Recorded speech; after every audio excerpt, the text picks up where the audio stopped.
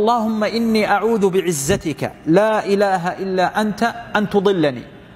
هنا قد يقول قائل المتوقع أن يقال اللهم برحمتك. ها؟ أعوذ بك أو أعوذ برحمتك لا إله إلا أنت أن تضلني لأن الهداية هي من أعظم مظاهر رحمة الله عز وجل بعبده. فما شأن العزة هنا؟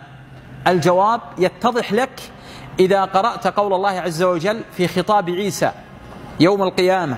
حينما يسأله الله تبارك وتعالى أأنت قلت للناس اتخذوني وأمي إلهين من دون الله؟ إلى أن قال إن تعذبهم فإنهم عبادك وإن تغفر لهم فإنك أنت العزيز الحكيم. ولم يقل أنت الغفور الرحيم لأن ذلك المقام وهذا المقام مقام عزة.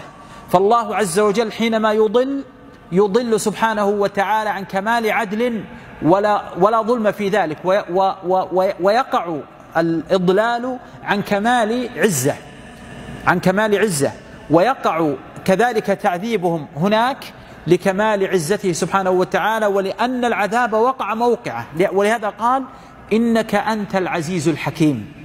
ويوم القيامة يوم عدل.